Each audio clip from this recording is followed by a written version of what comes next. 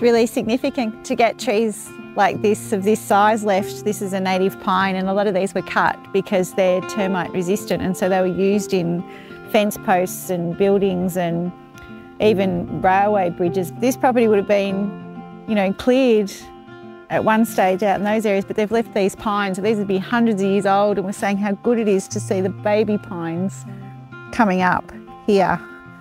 It's a great sign to get recruitment of trees like this. It's very old.